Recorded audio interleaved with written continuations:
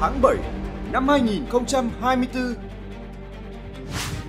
Lần đầu tiên, một sự kiện hội tụ đa góc nhìn về hòa bình.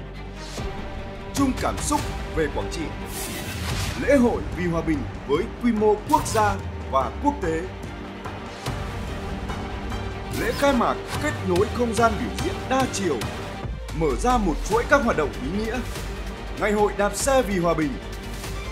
Đêm nhạc khúc ca hòa bình với những ca khúc lừng danh của nhạc sĩ Trịnh Công Sơn.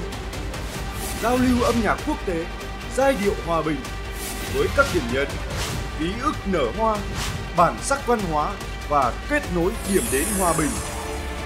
Lễ hội văn hóa ẩm thực hương vị miền hoa nắng.